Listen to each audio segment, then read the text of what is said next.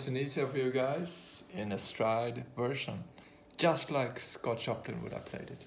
Hope you enjoyed it. Cheers.